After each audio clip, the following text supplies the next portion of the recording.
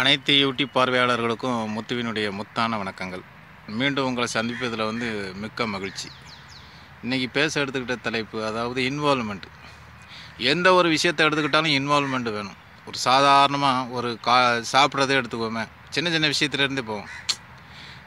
சாப்பிட்றதே எடுத்துக்குவோம். நம்ம சாப்பிட்ற நேரத்தில் வந்து சாப்பாட்டில் தான் நம்மளுடைய கவனம் இருக்கணும். கவனம் எப்படி சாப்பாட்டு மேலே இருக்கும்? அதில் சாப்பாட்டு மேலே ஒரு ஈடுபாடு வேணும். ஒரு சிலர் சாப்பிட்ற நேரத்தில் தான் பேசிக்கிட்டு இருப்பாங்க. இல்லைன்னா ஏதாவது மொபைலை பார்த்துட்ருக்கிறது இல்லைன்னா ஏதாவது டிவியை பார்த்துட்ருக்கிறது இப்படி பண்ணுறது ஒரு சின்ன விஷயம் சாப்பாடு. அதில் நம்ம முழு அளவு ஈடுபாடோடு சாப்பிட்டோன்னா அந்த சாப்பாட்டோட முழு பலனை வந்து நாம் அடையலாம். இப்படி தான் சின்ன சின்ன விஷயம். இப்போ ஒரு ஸ்கூலுக்கு போகக்கூடிய ஒரு ஸ்டூடெண்ட் எடுத்துக்குவோம். ஒரு ஐம்பது பேர் இருக்கிற கிளாஸ் ரூமு ஒருத்தர் மட்டும்தான் ஃபஸ்ட் மார்க் எடுக்கிறான். எப்படி? அந்த ஐம்பது மாணவருக்கும் ஒரே டீச்சர் தான் பாடம் எடுக்கிறாங்க. ஆனால் முதல் மதிப்பெண் பெறுறது எத்தனை பேர்? ஒருத்தன் தான் எப்படி? காரணம் ஈடுபாடு. ஆனால் அந்த நாற்பத்தொம்போது பேரும் எல்லா நாளும் கிளாஸில் வந்து உட்காந்துருந்தாலும் அவங்களுக்கு ஈடுபாடு இல்லை. ஈடுபாடு இருந்ததுன்னா அவங்களுடைய கவனம் வந்து செதறாது. இந்த படிப்பில் அவங்களுடைய கவனம் இருந்துகிட்ருக்கும் இருந்திருக்கும். அவங்களுடைய இலக்கை வந்து இறுதி எளிதாக அடைஞ்சிருப்பாங்க. காரணம் ஈடுபாடு இல்லை. ஈடுபாடு இல்லாதன்னா எந்த ஒரு விஷயமுமே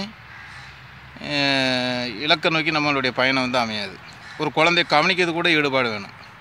ஒரு சின்ன குழந்த அதை கவனிக்கிறது கூட நமக்கு வந்து ஈடுபாடு இருக்கணும். குழந்தைய வந்து சரியாக கவனிக்கலைன்னா குழந்தையினுடைய திறமையை நம்மளால் அறிஞ்சிக்க முடியாது. இன்றைக்கி நம்ம எவ்வளவோ முகநூலில் பார்க்குறோம். எத்தனையோ சின்ன சின்ன குழந்தைகளுக்கு எவ்வளோ பெரிய டேலண்ட்லாம் இருக்குது.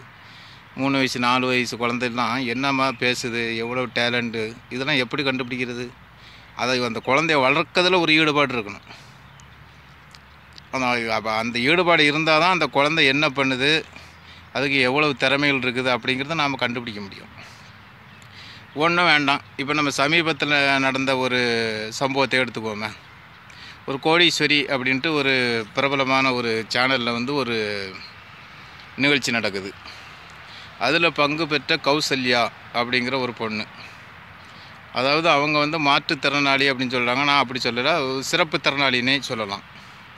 ஏன்னா அவங்களுக்கு எந்த ஒரு ஈடுபாடு இருந்ததுன்னா அவ்வளோ தூரம் முயற்சி பண்ணி அதில் வந்து ஒவ்வொரு கேள்விகளுக்கும் பதில் சொல்லி டிசிஷன் எடுக்க வேண்டிய இடத்துல டிசிஷன் எடுத்து தில்லாக இருந்து அந்த ஒரு கோடியை வின் பண்ணாங்க பாருங்கள் அதில் தான் அந்த ஈடுபாடு தான். ஆரம்ப புள்ளி என்ன இதில்? ஈடுபாடு. ஈடுபாடு இருந்ததுன்னா எல்லாமே தன்னம்பிக்கை அந்த டிசிஷன் மேக்கிங்கு எல்லாமே எளிதாக வந்துடும் எவ்வளோ ஹாட்டான சீட்டோ அந்த சீட்டில் இருந்துட்டு அவளுக்கு கேள்விகளுக்கு பதில் சொல்லி இந்த கோடீஸ்வரி அப்படிங்கிற பட்டத்தை வின் பண்ணாங்க அப்படிங்கிற ஒரு பொண்ணு.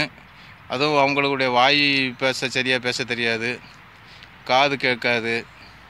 இன்னும் சொல்லப்போனால் அவங்கள வந்து பன்னெண்டு வயசுக்கு மேலே தான் ஆங்கில வார்த்தைகளே தெரியுமா. அப்போ எப்படி முடியுது? காரணம் ஈடுபாடு தான் சரி ஒரு பணிபுரியக்கூடிய இடத்த எடுத்துக்கோங்க ஒரு வேலை செய்யக்கூடிய இடமே எடுத்துக்குவோம் நம்ம.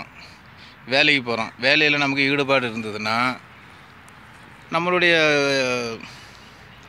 இலக்கை வந்து வெறி ரொம்ப எளிதாக அடையலாம். ஈடுபாடே இல்லாமல் முப்பது நாள் வேலைக்கு போய் ஏதோ பணத்துக்காக பணம் சம்பாதிக்கிறதுக்கு ஆயிரத்தெட்டு வழிகள் இருக்குது. எதுலேயுமே ஈடு பணம் சம்பாதிக்கணும்னா கூட ஈடுபாடு வேணும். ஈடுபாடு இருந்ததுன்னா நீங்கள் நினைக்கக்கூடிய இலக்கை வந்து ரொம்ப எளிதாக அடையலாம். பல உதாரணங்கள் இருக்குது. நீங்கள் முகநூலில் பார்க்கலாம். எவ்வளவோ உதாரணங்கள் இருக்குது ஈடுபாடை பற்றி இன்னும் ஒரு நண்பர் கூட ஒரு சென்னையில் வேலை பார்த்துட்ருக்குறாரு அதாவது அவர் வந்து டெக்னிக்கலை பற்றி அவருக்கு எதுவும் அந்தளவு தெரியாது. தெரியலனா கூட அவர் கமர்ஷியல் டிபார்ட்மெண்ட்டில் அதாவது அக்கௌண்ட்ஸு அந்த செக்ஷனில் தான் இருந்தார். அவங்களோட அவருடைய ஈடுபாடை வச்சு அதாவது அந்த தொழில் மேலே உள்ள பக்தி அந்த ஈடுபாடு அதை வச்சு அவங்கள வந்து அந்த ஃபேக்ட்ரியில் கொண்டு அப்பாயின்மெண்ட் பண்ணாங்க. டெக்னிக்கல்னால் என்னென்னே தெரியாது. போய் கற்றுக்கிட்டார் ஈடுபாடு தான் காரணம். ஒவ்வொரு விஷயத்தையும் ஈடுபாட்டோடு கற்றுக்கிட்டாரு இன்றைக்கி அவர் கம்பெனியில் ஜென்ரல் மேனேஜர் அப்படிங்கிற பதவி உயர்வோட நல்லா இருக்கிறார். காரணம் என்ன? ஆரம்ப புள்ளி என்ன? இதோடைய ஆரம்ப புள்ளி என்ன? ஈடுபாடு. அப்போ ஒரு ஈடுபாடு இருந்தது அப்படின்னா எல்லா விஷயங்களும் வந்து நமக்கு கிடைக்கும். இன்னொருத்தர் ஒரு கிட்டத்தட்ட ஒரு சென்னையில் வேலை பார்க்குறாரு. ஒரு பதினஞ்சு இருபது வருஷமாக வேலை பார்க்குறாரு. ஒரு நாள் கூட லீவு கிடையாது. லேட்டாக போனது கிடையாது. காரணம் என்ன? அந்த ஈடுபாடு கம்பெனிக்கு போகணும் வேலை பார்க்கணும் அந்த வேலையில் உள்ள பக்தி ஈடுபாடு இல்லைனாக்கி அதில் அதால் சாதிக்க முடியுமா? அவங்களுக்கு பெரிய அவார்டெல்லாம் கொடுத்து கம்பெனி வந்து கௌரவிச்சாங்க.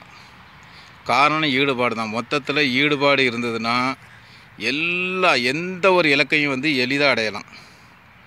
காலையில் நாலு மணிக்கு எழுந்திருக்கணுன்ட்டு அலாரம் வச்சுட்டு படுத்து தூங்கிட்டு இருக்கிறோம். அலாரம் அடிக்கும்போது நம்ம அலாரத்தை ஆஃப் பண்ணிவிட்டு அஞ்சு மணிக்கு செட் பண்ணுறோம் என்ன காரணம்? ஈடுபாடு இருந்தனா அப்படி செய்ய தோணுமா? அதாவது முழு ஹண்ட்ரட் பர்சன்ட் ஈடுபாட்டோட எந்த ஒரு காரியத்திலையும் இறங்கினா வெற்றி நிச்சயம்.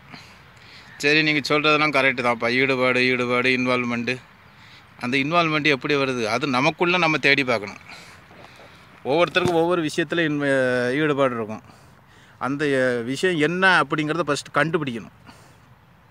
ஒரு சிலருக்கு டெக்னிக்கல் ஸ்கில் இருக்கலாம். ஒரு சிலருக்கு விளையாட்டில் ஸ்கில் இருக்கலாம். ஒரு சிலருக்கு படிப்பில் ஸ்கில் எஜுகேஷனில் ஸ்கில் இருக்கலாம். ஒரு சிலருக்கு பிஸ்னஸில் ஸ்கில் இருக்கலாம். அது என்ன அப்படிங்கிறத நீங்கள் தான் கண்டுபிடிக்கணும். உங்கள் ஆள் மனத்துக்கு சென்று உங்களுடைய எல்லாருக்கும் ஒவ்வொரு திறமை இருக்குது. அந்த திறமை என்ன அப்படிங்கிறத கண்டுபிடிக்கிறது உங்கள் பொறுப்பு தான். அது என் கையில் கிடையாது. அதை கண்டுபிடிச்சி உங்களுடைய முழு கவனத்தையும் ஈடுபாட்டோடு செலுத்தினா உங்களுடைய இலக்கை வந்து ரொம்ப உறுதியாக அடையலாம் இறுதியாக அடையலாம். நன்றி வணக்கம்.